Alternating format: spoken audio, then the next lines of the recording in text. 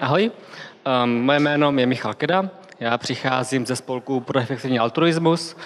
My tam přemýšlíme nad tím, jak mít co největší pozitivní dopad na světem. Když bych to řekl jinak, tak jak co nejlépe dělat dobro. A o nějakých aspektech tady toho přemýšlení, k čemu jsme došli, budu dneska mluvit. Začnu zase představením Petra Singra, který před 40 lety napsal knihu o rozšiřování morálních kruhů. V ní si všímá, že lidem postupně začíná záležet a starat se o čím dál tím širší kruhy jiných lidí. Nicméně ta jeho teze v té knížce, řeknu spoiler, je, že tam by to nemělo se zastavit, že bychom se měli zajímat i o zvířata, což tady doufám není kontroverzní. Já s tím jakoby hodně souhlasím, taky jsem vegan například a efektivně altruista a velkochovy jsou prostě podle mě zlo, které, kterým bychom měli jakoby, aktivně proti tomu něco dělat. Nicméně ta teze, že ten, tam by se to nemělo zastavit, si myslím, platí pořád a mohli bychom se nad tím zamýšlet, kam dál a co dál dělat.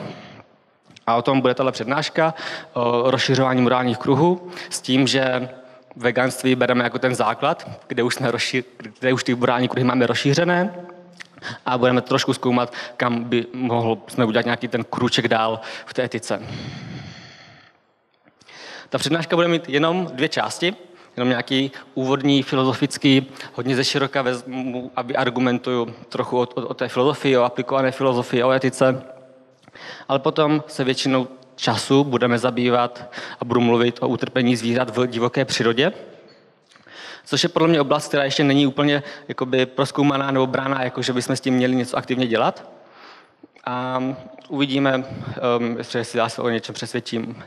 Pak ještě tajné části 3 a 4, o nich nebudu mluvit, ani to nejsou na slajdech, ale jakoby těch věcí, kam lze rozšiřovat morální kruhy, je docela dost. Um, ve spolku to řešíme, když by v pondělí většinou máme takové meetupy, kdybyste chtěli, tak pak uděláme ještě reklamu na konci. Nicméně už půjdu na tu první část uh, s tou filozofií. Um, tenhle slide tady asi nesmí chybět, aby, protože to téma prostě na to navazuje. Vegani to mají zhruba takhle. Um, že někde na počátku nebo jakoby nejvíc starostí máme o sebe, o svou rodinu, o své přátele. Pak někde tam je třeba komunita, případně domácí zvířata, které máme. Um, pak jakoby ten Peter Singer tam jakoby popisoval, že se rozšiřují ty kruhy na ten národ, případně na celé lidstvo. A vegani tedy řeší i hospodářská zvířata. Um, kdežto um, jakoby, pak jsou ještě ty zvířata v divoké přírodě, o, o těch budu mluvit a potenciálně těch jako kruhů je o, o hodně víc. Nicméně tenhle jakoby, diagram je hodně zjednodušující a není úplně jakoby, jasné, jak dojít k těm dalším kruhům, jakým směrem rozšiřovat uh, jakoby, tu svoji morální starost, o, o jaké jedince, o jaké entity. Možná by tam mohly být jakoby, rostliny, nebo by tam mohlo být něco jako ekosystém. A to bylo něco časté, třeba um, ve veganských kruzích, že to je ten, ta starost, kterou máme mít. Takže tohle je jenom jedna verze, jeden nástřel, kam to lze rozšířit. Um, Zároveň to je hodně jako zjednodušící diagram, který jenom prostě ilustruje ten bod, že se to nějak jakoby rozšiřuje. Chybí tam spousta informací, um, není tam jako argumentace, proč uh, který ty entity do toho kruhu zahrnout. Zároveň se tam špatně zvíra, nebo špatně se tam zobrazuje, kolik jedinců v rámci těch kruhů je. Um, taky se tam málo zobrazuje, nebo málo, špatně se tam zachycuje, kolik vlastně úsilí na ty jednotlivé kruhy jde. Um, a, takže je to takový prostě jenom takový vágní, nejasný koncept, koncept um, který si za chvíli trochu víc formalizuju. Um, nicméně, ještě než jakoby se do toho pustím, tak um, aby, aby prostě ta filozofie jí bylo dáno za dost, tak Během přednášky země bude asi docela poznat, že jsem utilitarista, to znamená, že jde o konsekvence, nějaké celkové blaho, nějak, nebo součet blaha, minus součet utrpení, nějaké takové věci. Um, to, že myslel ten Jeremy Bentham je na obrázku. Nicméně ta otázka, jestli nějaký, nějaký druh entit zahrnout do morálního kruhu, jakoby nenutně souvisí s konkrétní filozofií nebo s konkrétní tou morální etikou, kterou máte, protože všechny s tím jsou kompatibilní. Pokud zahrneme do morálního kruhu i hospodářská zvířata nebo i zvířata v divoké přírodě a jsme utilitaristé, tak nám pak půjde o to jejich blaho. Nebo pokud jsme deontologové, což je um, takový morální etika, ve které máme nějaká pravidla, kterých se snažíme je dodržovat. Takové ty třeba přikázání v Bibli jsou typicky deontologické um, přikázání, takže nezabiješ nebo pomáhej bližnímu svému tak tam je to zase, jakoby, prostě pokud máme něco ve svém morálním kruhu, tak pak na něj aplikujeme ty pravidla, takže ta otázka je, jestli to tam zařadit nebo ne. A pokud už to tam zařadíme, tak to kompatibilní je. Um, takže ta deontologie a etiky ctnosti, to taky má spousta lidí. Uh, tam zase jde o to, že se máme chovat pěkně, že jakoby jde o ty naše úmysly a když jsou úmysly dobré, tak potom ten, to celkové chování, potom jsme dobří lidé. A zase pokud ty zvířata zařadíme do toho morálního kruhu, uh, ať už, ať už hospodářská nebo ve volné přírodě, tak se dostaneme k tomu, že se o ně starat nebo chtít jim pomáhat, snažit se jim pomáhat, je, může být ta cnost a zase ta jako etika cnosti je kompatibilní s staráním se o zvířata právě pokud um, se o pokud je zařadíme do toho svého kruhu. A to za chvíli vyargumentuju. Um, etiku cnosti třeba propagoval hodně Aristoteles, který jakoby celý život přemýšlel nad tím, jak žít dobrý život, ale třeba si nemyslel, že otroci jsou špatní. Takže jakoby od té jeho doby i lidi, co zastávají etiky cnosti, se hodně posunuli, eh, což taky ty morální kruhy jakoby zobrazují, že v průběhu času prostě se nám jakoby za, nás eh, zajímají ty další a další entity, nebo jako širší a vzdálenější lidé. Um, tak jakoby Jakoby my jsme vegani, tak a teďka budu chvíli argumentovat, proč rozšířit ty kruhy, třeba o ty volně žijící zvířata, z, z nějakého veganského pohledu. Uh, s tím, že to potom implikuje, že se o ně fakt jako máme starat. Ne, že nám jako na nich abstraktně záleží, ale že bychom se o ně měli opravdu starat. Vegani často jakoby, používají argumentaci vůči karnistům, kdy jim ukazují nějaké drastické záběry, a říkají, ty, to je očividně špatně, zbuzuje to mě nějaké špatné emoce, takže by se to nemělo dít. A myslím si, že úplně stejná argumentace, když se trošičku jenom jako rozšíří na divoká zvířata, jde použít také, protože brutalita volné přírody je extrémní, v podstatě ani žádný dokument, který zachycuje uh, volnou přírodu, neukazuje, když nějaká, nějaké zvíře prostě mnoho hodin trpí tím, že ho něco žere zaživa, nebo umírá dlouho na nějakou nemoc, nebo umírá hladem.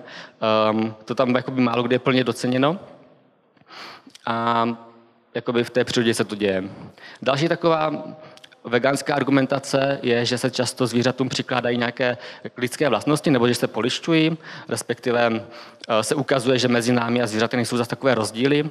Myslím, že v úterý byla online přednáška z minulého Vegan Festu Zvířata jsou taky lidi um, kde bylo jakoby spousta příkladů toho, co zvířata dělají a co, jakoby, jaké mají sociální chování a co všechno jakoby překvapivého a inteligentního umí dělat.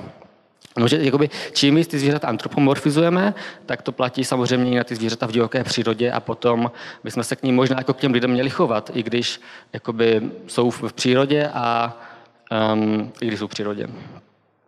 Často se taky jako argumentuje nějakou minulostí a budoucností. Říkáme si často, že prostě před stolety ženy neměly volební právo, eh, dneska jsou velkochovy, nebo před 200 lety se pálily čarodějnice, byli otroci.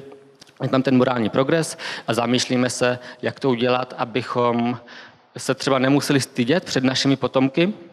Eh, a myslím si, že zase nějaký tady tohle uvažování může vést k tomu, že to, že necháváme zvířata trpět ve volné přírodě, což zase za chvíli vyargumentuju, proč uh, zvířata ve volné přírodě možná hodně trpí, tak jakoby ti potomci se na nás můžou jakoby, za nás trochu stydět, nebo prostě můžou se divit, že takové hrůzy, které se v té volné přírodě dějí, takže necháváme být a vlastně si jich nevšímáme a z velké části ignorujeme.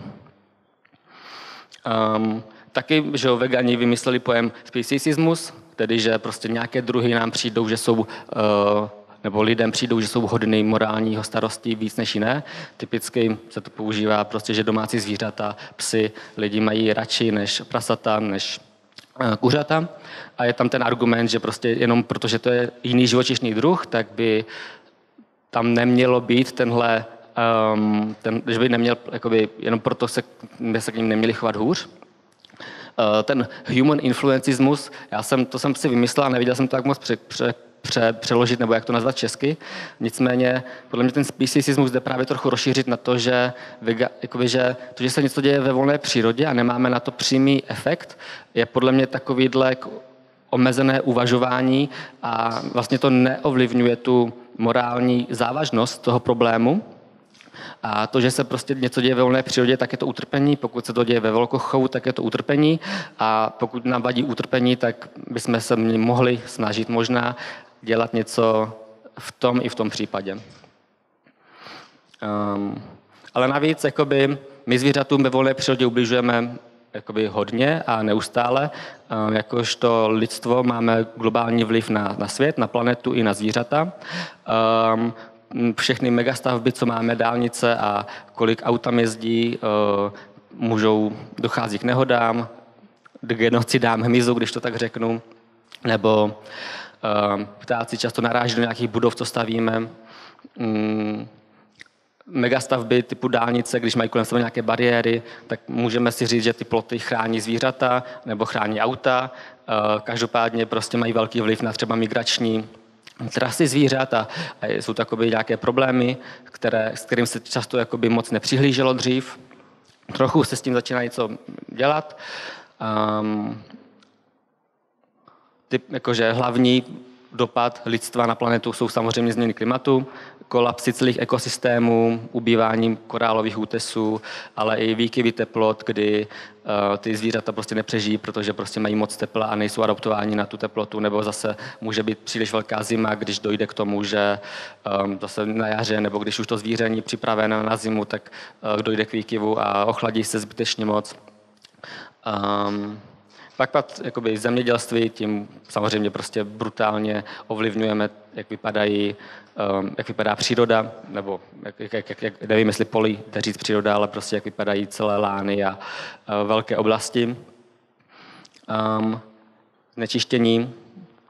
Pak jsou jako různé stresory, které jako by si možná šlo říct, že vlastně se ty zvířata mají o trochu hůř, nebo se jako nemají dobře, nebo je to trochu trápí, ale když vystrašíte nějaké zvíře v divoké přírodě, ať už lukem, um, jedoucí auto nebo loď, um, když to zvíře spí a pak se probudí, uh, nemůže usnout nebo se lekne, vynaloží, utíká, může se zranit v noci, může tím, že je vyspalé a vystresované, tak se mu může zhoršovat imunitní systém, může být náchylné na nějaké další nemoci tím pádem, nebo může se vysílit tím, že právě utíká a potom se mu bude hůř získávat potrava. Takže jakoby tady ty stresory jsou hodně, mají dopad na zvířata v podstatě. Letadla lítají po celém světě, um, lodě křižují oceány, auta, zase uh, pevniny, vlaky. Um, nemůžeme se prostě jenom tak jako lehce vyvinit, že neovlivňujeme zvířata volné přírodě. Uh, světelný smog. Um, byl nějaký dotaz? Nebo ne? Pardon? Jo, Uh, světelný smog, tady je ten příklad s želvičkama, které když se vylíhnou, tak prostě jdou místo za měsícem do moře, tak jdou za světly a, a umřou dřív, než by, um, tak jako, než, než se dostanou do bezpečí té vody. A, a to jsou teda všechny jako nějaké ovlivnění, ovlivnění, které lidstvo působí na zvířata. Tím asi jakoby, končím ten takový mini blog o tom, jak jakoby, ta veganská argumentace vede k, k tomu, že zvířatům bychom ve volné přírodě se taky měli starat. Já tomu dám teďka trochu víc efektivně altruistický přístup, trochu to víc zarámuju takovým systematickým způsobem, který mě osobně přijde přesvědčivý, jak už jsem říkal, protože jsem možná utilitarista. Um, jakoby vycházím z toho, že já chci jakoby být dobrý člověk a chci pomáhat světu a důležité je, že máme omezené zdroje. I kdybych měl jakoby nekonečně, nebo kdybych byl nejbohatší člověk na světě, tak jakoby nemůžu nikdy pomoci všemu a všem. Um, ale taky nemám neomezeně času a taky nemám neomezeně energie. Takže když už pomáhá, tak jakoby za mě je lepší pomáhat nějakým způsobem co nejvíc a pokud to jde trochu nějak jako vyhodnotit, jak pomoci co nejvíc, tak, tak to tak udělat. Um, k tomu, jak to jako trochu k tomu systematicky přistoupit, nabízí efektivní přístup, tady tyto efektivní altruismus, nabízí tyto tři metriky, že se koukáme na problémy podle toho, jak jsou velké, a já budu popisovat to, že utrpení divokých zvířat je jako opravdu velký problém um, a jakoby ten implicitní předpoklad je, že čím větší problém, tím důležitější, důležitější ho řešit. Zároveň ten problém musí být nějakým způsobem řešitelný, um, protože pokud jakoby nehrozí to, že tím, že na něm pracujeme, takže s, ním nějak pohneme, uh, tak, tak potom na něm vlastně nemusíme pracovat. Jako je důležité, aby prostě byla nějaká šance, že se jako něco stane, co s tím problémem pohne. A taky možná jakoby nejzajímavější uh, přínos tady toho uvažování je ta zanedbanost, ten třetí bod, protože je spousta problémů, které už mají docela hodně zájmu. Jakoby třeba, když to porovnám nebo řeknu o změně klimatu, že má relativně hodně zájmu, tak se to nemusí úplně jako všem jako zdát, že to tak je. Nicméně těch lidí, co na ní pracuje a politikové a v povědomí veřejnosti ta, ta věc je, oproti třeba i velkochovům nebo zvířatům v divoké přírodě, prostě to je o několik řádů víc, jako lidí i peněz, i úsilí, které na to jde. Takže jakoby, když jste ten člověk, který začne pracovat na snižování utrpení divokých přík zvířat, tak budete třeba jakoby stý nebo tisíci, versus kdybyste začali pracovat na boji proti změně klimatu, tak budete prostě milionty nebo desetimilionty člověk na planetě, který se tomu vážně věnuje. A když ten váš přínos v těch zanedbaných oblastech může být o hodně větší, než když se snažíte pomoci nějaké nezanedbané oblasti. A, tak a teď už se dostáváme k té hlavní části. Prezentace o utrpení divokých zvířat. A já budu používat ten eh, framework, ten rámec efektivního altruismu, takže nejdřív uh, popíšu, jak velký to je problém. Um, takovýmto slidem. Ta, to není slide, kde je modré pozadí a bílá tečka, to je graf, kde ta bílá tečka jakoby, popisuje počet zvířat, který lidstvo má ve velkochovech. To je takových těch 70 miliard, který často vegani používají, eh, nebo používáme, když někdy argumentujeme. Eh, ve skutečnosti ta tečka obsahuje ještě i ryby, takže zhruba tečka je 150 miliard. A ta modrá plocha, to jsou všechny zvířata ve volné přírodě, včetně ryb, eh, ptáků, plazů, je jich 10 tisíckrát tolik, takže prostě na každé kuře, na každé prase, na každou rybu, kterou lidstvo jakoby um, kontroluje ve velkochovech, tak prostě připadá 10 tisíc dalších jedinců ve volné přírodě. Ano? Je to počet, ano, je to počet. A je to počet prostě savců, ryb a plazů, ptáků. Ano? Vy už to jednou tenhle slide ukazoval, já jsem se tady ptala a vy jste říkal, že je tam i hmyz. Um, tady hmyz není. Uh, hmyz bude teďka na dalším slajdu, protože když který se může zdát, že to je bílá tečka na modrém pozadí, ale je to graf, který ilustruje to, že um, ta bílá tečka jsou všechny ty zvířata, o kterých jsem mluvil doteď. A ti členovci, ten hmyz uh, je jakoby další desetinásobek, desetitisícinásobek, um, desetitisícinásobek. Takže jakoby hmyzu je pak ještě zase řádově víc. Když bych to řekl víc v číslech, tak to vypadá zhruba takhle. Ty čísla jsou prostě nepředstavitelně velká. Jakoby v běžném životě se s nimi nesetkáváme, takže se to jakoby těžko představuje. Já doufám, že ty ilustrace trochu pomohly uh, tomu pom, jakoby, si představit to utrpení, ale jako když těch řádů je mezi lidmi a členovci 8, tak to je prostě 100 milionů členovců na každého člověka. Takže pokud bychom jim dali nějakou morální váhu, co jsem ještě jako o tom nemluvil, ne, neargumentoval, že by měli mít, tak otázka jakou, ale jakoby potenciálně ta oblast je prostě strašně ohromná. Velká většina zvířat všech je jako ve volné přírodě na světě. A jenom úplně malý zlomek je eh, ve velkochovech. Takže jakoby, těch zvířat je hodně. No. Um, a teď, trpí v té přírodě, nebo jak, jak se v té přírodě mají? Um, já teďka budu mít interaktivní jakoby, Můžeme si vybrat dvě cesty. Buď budu ukazovat obrázky, které jsou často hodně drastické, anebo to popíšu textově. Tak si jakoby, můžete vybrat, kdo chce vidět jenom text, tak teďka mám možnost um, si zvolit to, že půjdeme tou částí, kde bude text a nebudou tam ty drastické obrázky. Obrázky. Obrázky, dobře. Tak já kliknu na obrázky. O těch různých způsobech, jak lidi trpí, jak zvířata trpí, lidmi už jsem mluvil tam předchozí, tak tohle je zase nějaký jeden, jeden malý ilustrační obrázek. Um, nicméně, jakoby, častým, běžným a úplně normálním jevem v divoké přírodě je hlad, kdy když je potravy dost, tak se potom rodí víc jedinců, když je víc jedinců, tak víc soutěží o potravu.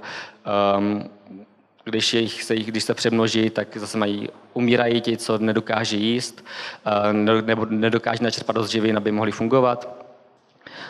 Um, když třeba sloni, kteří se dožívají spoustu věku, um, dlouhého věku, tak mají problém se zuby v pozdějším věku, kdy jim vypadají a pak nemůžou žrát a nemají zubaře a jakoby časem umřou hlady. Takže jakoby, uh, hlad je něco, co, se, co je jako běžný, běžná součást každého zvířete. Um, s nějakými změny klimatu, ale i zase v rámci nějakých normálních cyklů se často stává, že někde vyschne nějaká řeka, dojde k, k větším teplotám a suchu.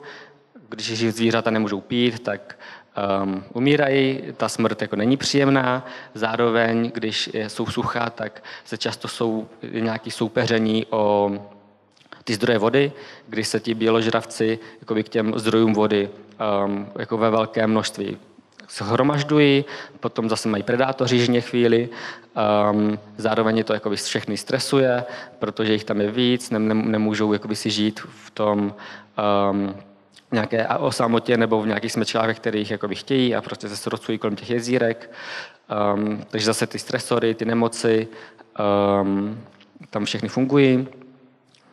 Nemoci zvířat jsou strašně časté Eh, tak jak jako jsou nemoci u lidí, tak jsou nemoci u zvířat. Tady tohle je fotka kojota, nebo obě to jsou fotky kojota. Um, to vpravo je kojot, který trpí nějakou kožní nemocí, která se jmenuje demonikidóza nebo něco takového, s tím, že um, on pak vypadá docela strašidelně a teďka jsou jenom taková zajímavost, že um, v Americe je takový kryptozoologický tvor, mytický tvor, který se jmenuje Chupacabra a právě kojoti, kteří trpí závažnou formou té demodikózy, tak jsou jakoby považováni za ty tvory, kteří jsou jakoby dali za vznik tomu mýtu o čupakabře. Um, je to prostě kožní onemocnění, um, nějaký parazit, který napadne kůži a um, to zvíře, když má oslabenou imunitu, nakonec na to umře. Um, predátoři jedí uh, nepredátory. Tady zase nějaký snímek z videa, ve kterém antilopa je žrána jenama. Ta antilopa je ještě živá na tom videu a má rozpadané břicho a ty dvě hyeny, co tam v pozadí žerou, je mládě, které jakoby nebylo narozené.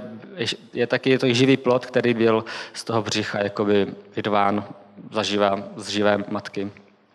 Um, přijde mi to dost brutální.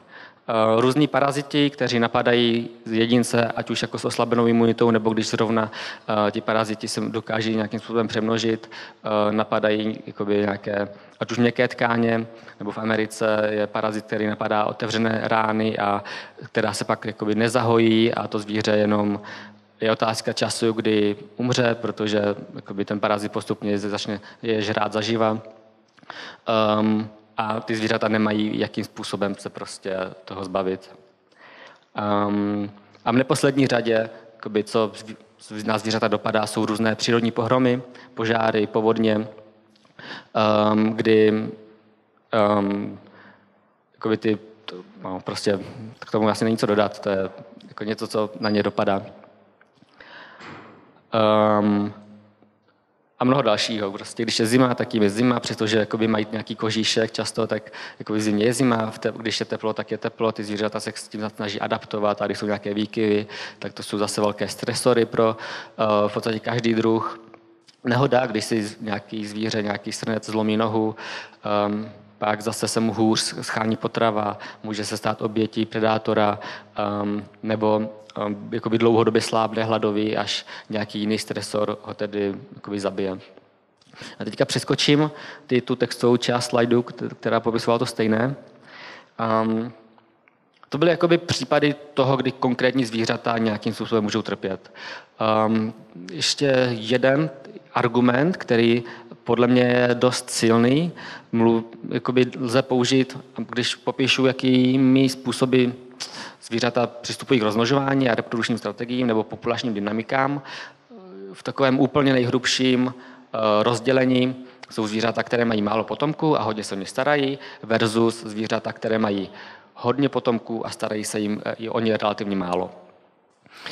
Um, já začnu těmi třeba slon, typický, jako savec, který má nejdelší eh, těhotenství, má relativně málo potomků za svůj dlouhý život, 4 až 6, ale přitom uh, mají 35% úmrtnost, přestože se oni jakoby fakt starají, a fungují v nějakých smečkách, stádech a um, jakoby dbají na to, aby ty zvířata, ty, ty potomci, ty um, calves, sluňata, sluňata, aby přežila, tak a 45% umrtnost. Zase, když bychom se na to koukli z nějakého lidského pohledu, tak v jakékoliv komunitě lidí, kde by byla 35% umrtnost, tak by nám to pravděpodobně připadalo dost strašné.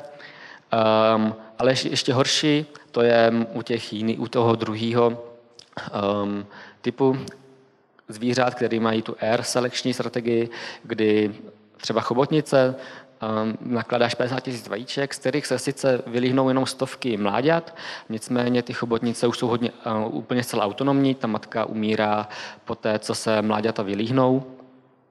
No, jenomže to to takoby znamená aby se v populaci udržel zhruba počet těch zvířat, tak každý pár rodičů musí jakoby zajistit, aby se právě dva potomci zase dostali k tomu, že se dokážou rozmnožit. Takže když se vyhne stovka vyhnutých mláďat, tak a protože nejsme zahlcení, jakoby planeta Země není zahlcená chobotnicema, tak dost jako implikuje, že skoro všichni umřou a pouze, dva se jako doká- pouze zase dva na každé rodiče se dokážou rozmnožit. Eh, dospělosti se dožije jednotky dospělých jedinců. Jenomže to zase znamená tohle. To znamená, že drtivá většina mláďat, která umře v nízkém věku, um, umře hlady nebo je něco sežere, um, což znamená, že pro většinu všech jedinců zvířecích na planetě jejich život je krátký a plný utrpení, hladu a stresu, který končí tím, že nějak zemřou. Hmm. Tak to je jako by za mě nějaký asi hlavní argument toho, že to utrpení, které je v přírodě, možná jakoby převažuje rozhodně pro ty druhy, um, tady, které mají těch spoustu um, dětí.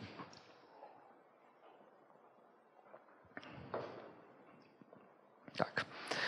Um, je velký problém. Otázka, jestli s tím jde něco dělat. Možná jo, jakoby jsou nějaké věci, které už s tím hodně děláme, um, které jsou nekontroverzní podle mě, um, nebo jako lidstvo se, jako, že nikdo neprotestuje proti záchranným stanicím, nebo to, že máme nějakou legislativu na chráněné a vzácné druhy.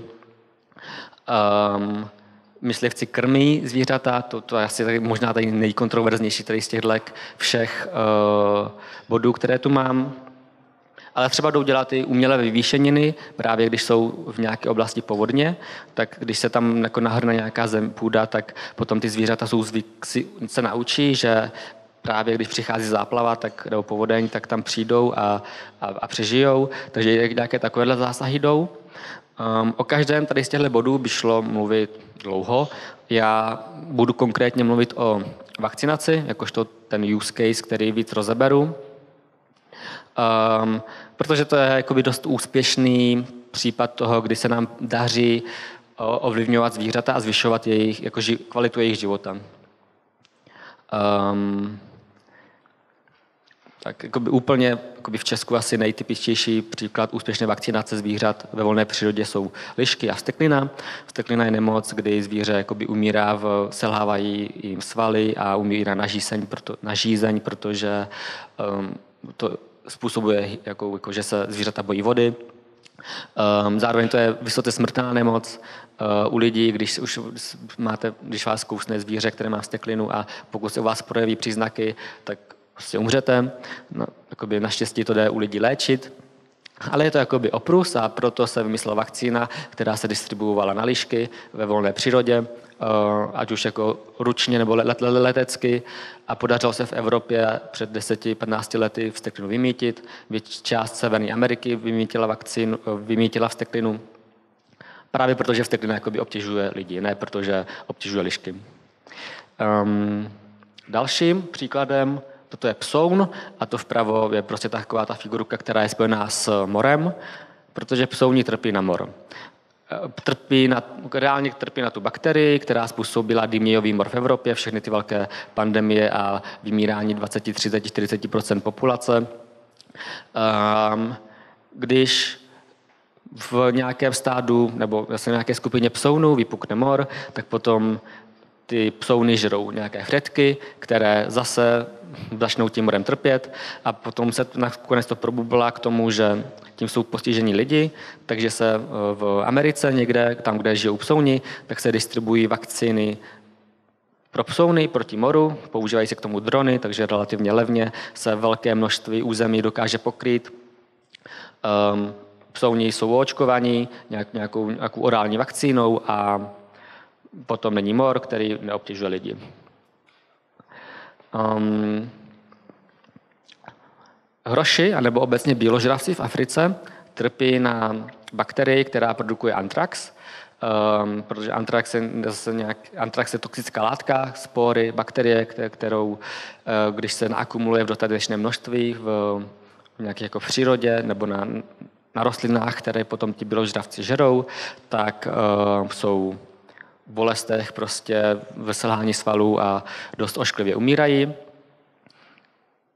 Pokud tyhle zvířata, které ještě než umřou, sní lidi, úloví a sní, tak potom i ti lidi mají často problémy, takže zase zase očkuje proti bakterii, která, e, z které se uvolňuje antrax, aby se pomohlo lidem, ne aby se pomohlo zvířatům.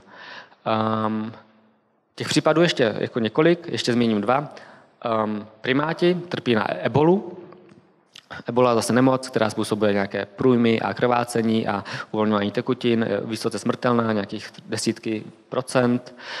Um, hrozí tam často přenos na lidi a právě proto, že hrozí přenos na lidi, ale možná u těch primátů, i protože k ním máme nějaký jakoby, citový vztah, protože to je jakoby, to velký zvíře, který je ohrožený navíc, takže um, tam, tam si jako myslím, že možná bychom je vakcinovali i jenom pro jejich dobro.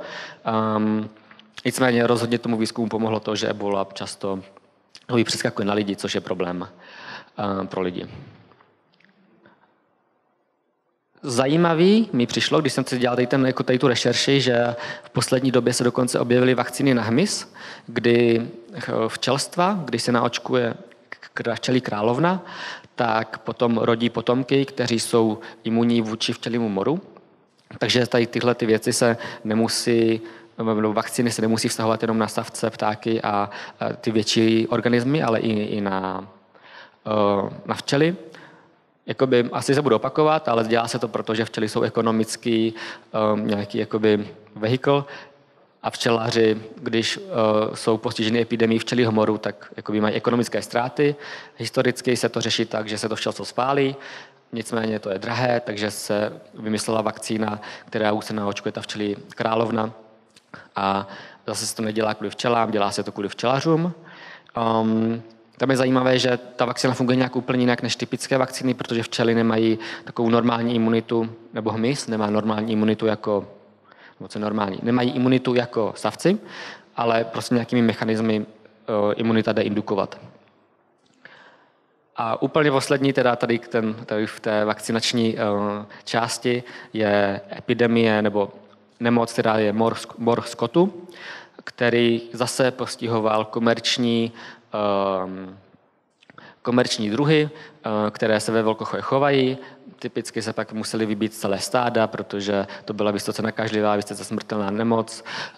Um, takže aby se zabránilo šíření, tak se vybíjeli celá stáda.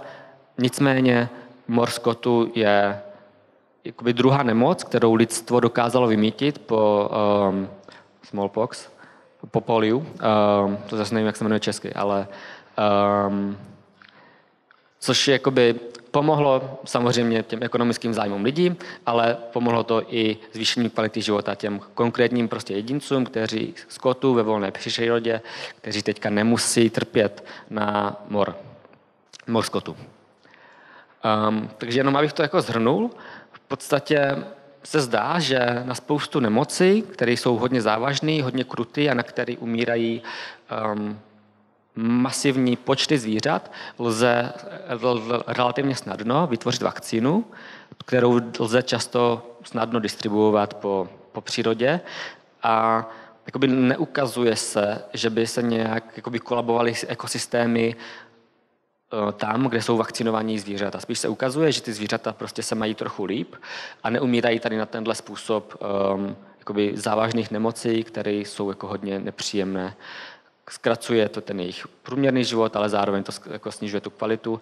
I když to zvíře přežije mor, e, e, nákazu, nebo jakoby přežije reakci na antrax, tak často je potom stejně jako oslabeno a nakonec umírá tím hladem nebo stresorem, tím, že nějaká jiná nemoc dorazí nebo nějaký predátor se, sežere dřív, než by um, v normální situaci um, to tak jako proběhlo.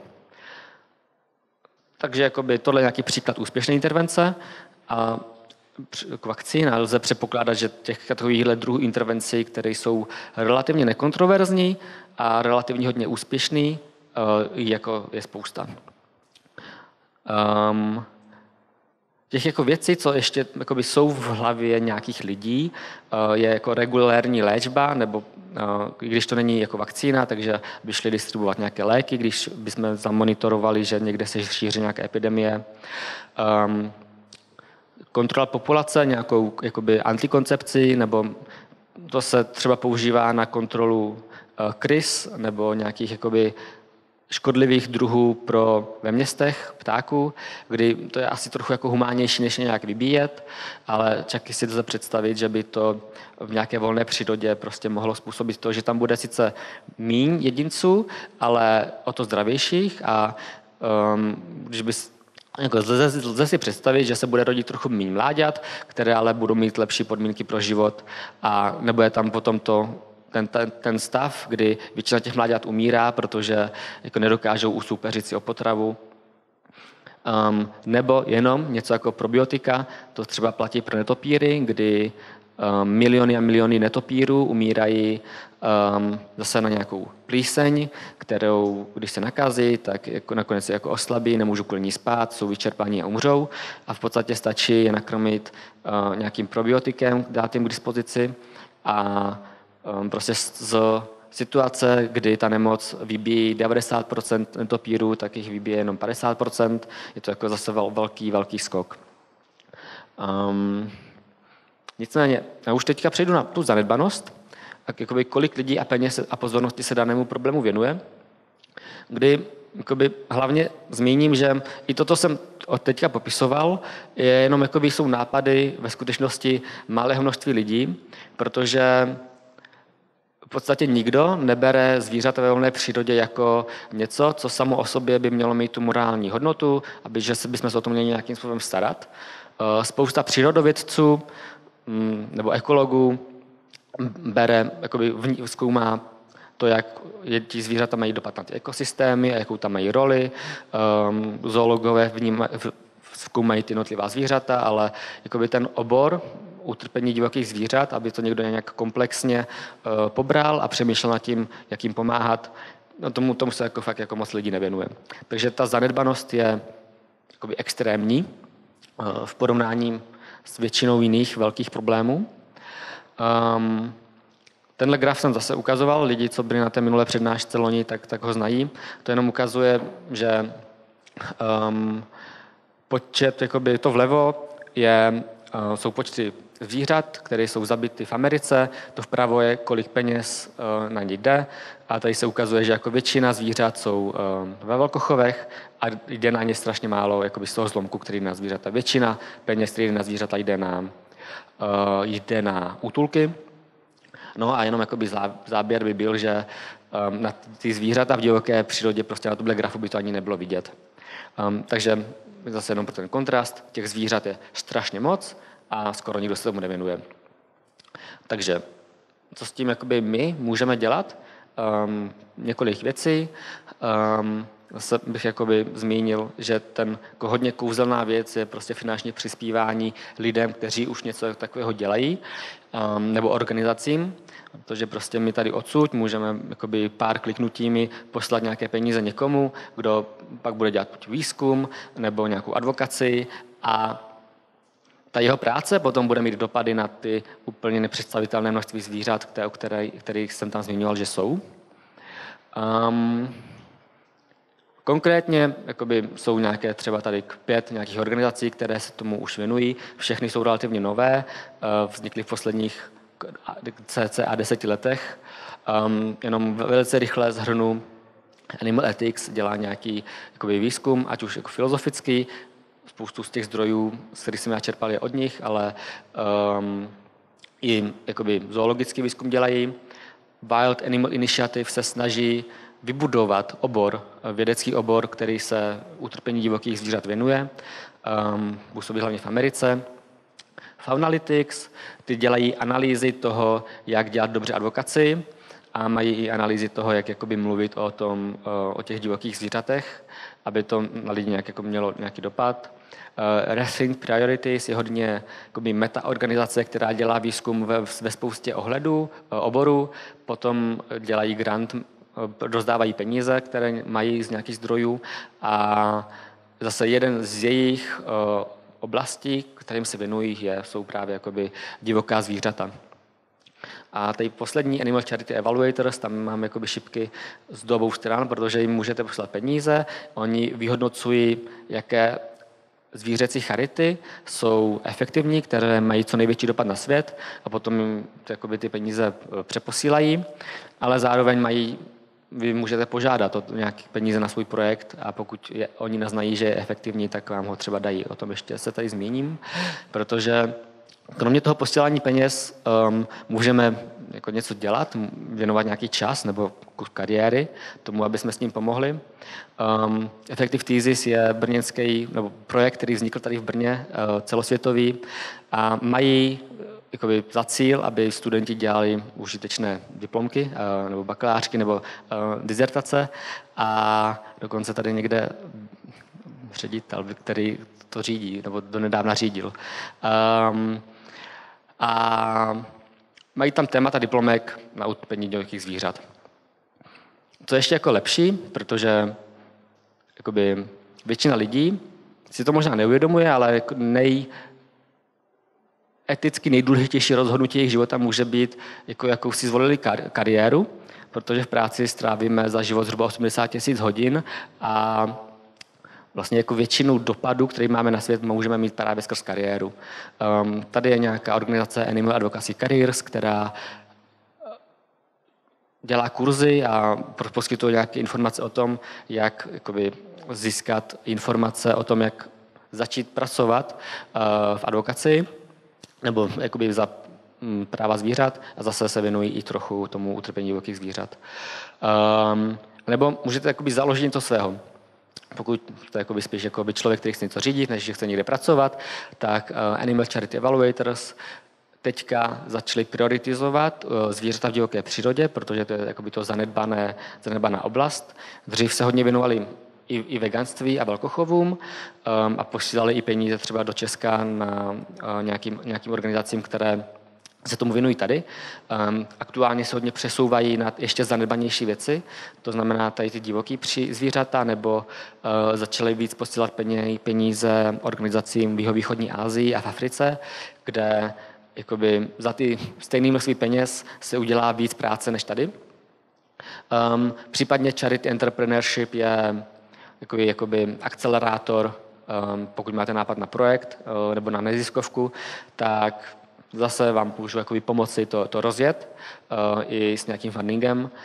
Um, takže jo, pokud jste spíš jakoby, že zakládáte projekty, tak tohle by mohly být organizace, které by vás mohly zajímat. Um, to je asi všechno. Já myslím, že jsem zhruba na čas. Nějaké otázky? Díky. Uh, no, tak já mám už od začátku trošku problém s tímhle s tím tématem. Uh, myslím si, že je teda zásadní rozdíl, jestli to utrpení uh, zvířat je způsobený lidma nebo ne.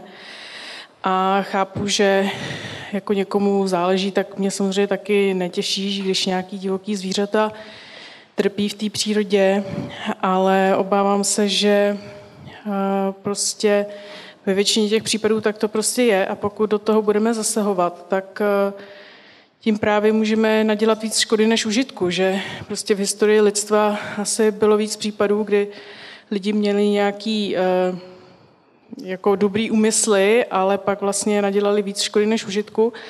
A tady si myslím, že to hrozí taky, že prostě hm, třeba tam, když jste dával případ toho rozmnožování té chobotnice, tak eh, jako nevím úplně, jak tam třeba eh, pomoct tomu, aby ty chobotničata eh, netrpěly a zároveň se třeba nepřemnožily, nebo prostě co, co s tím jako udělat, jak tomu zabránit, aniž bychom do té přírody nějak eh, zasáhli, eh, abychom ještě nějak to vlastně poškodili tu přírodu, nebo stejně tak ty drastické záběry, třeba tam ty hyeny a ta antilopa, tak samozřejmě mě netěší, že ta antilopa takhle trpěla, ale mm, prostě to, že predátoři loví nějakou zvěř, prostě mm, tak to je a ehm, jako co, co s tím dělat, aniž bychom tu přírodu nějak eh, nepoškodili naším zásahem. Já prostě,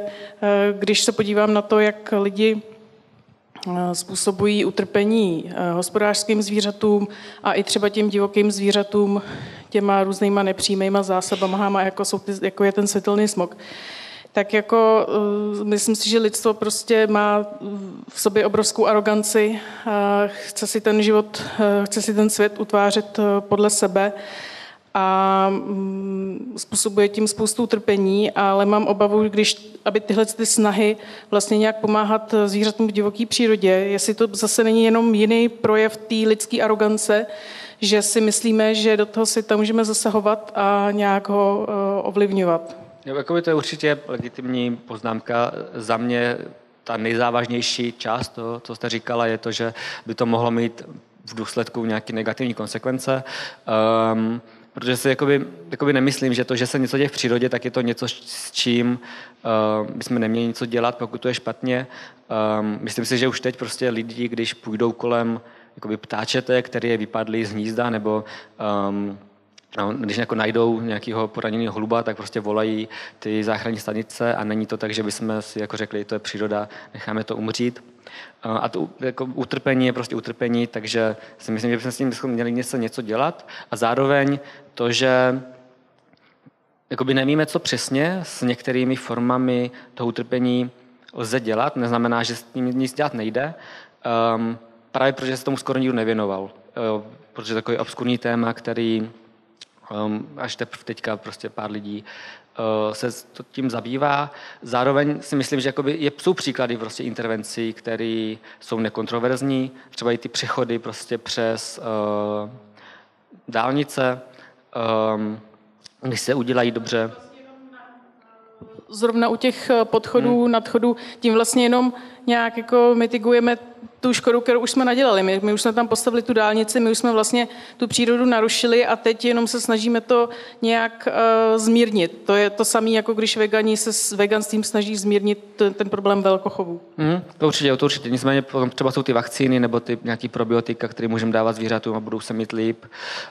Um, takže já si myslím, že když se to jako bude zkoumat, tak je jako velká šance, že se dokážou nalézt intervence, které nekontroverzně těm zvířatům budou pomáhat a um, tady tuhle věc, nebo tady tu hrozbu, že tím můžeme ve skutečnosti ublížit, ať už jakoby té přírodě nebo i těm jako jednotlivcím nějakým důsledku je potřeba brát vážně. Nemůže se to prostě dělat nějak jako halabala a e, je potřeba tam dát ten výzkum. Um, a jakoby arrogant, nebo zase já nemám moc nějakou úctu k tomu, že když se něco děje jakoby přírodně, takže to je správný ať už třeba v lidstvu taky prostě procházíme nějakým eh, vývojem a došli jsme k tomu, že není dobrý mezi sebou válčit, přestože jakoby, to je hodně přirozený pro ten náš druh a tak, takže um, nevím, proč to jako nerozšířit uh, na ty další jedince.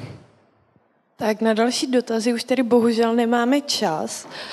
Já bych Michalovi moc poděkovala za jeho velmi zajímavou přednášku. Pokud by vás případně něco zajímalo, tak si tady zkuste Michala ještě odchytit. Teď si dáme opět malou přestávku a 15.50 budeme pokračovat v programu, bude následovat veganská aréna, bude to eh, debata s několika veganskými aktivisty. Tak určitě stojí za to tady ještě vydržet.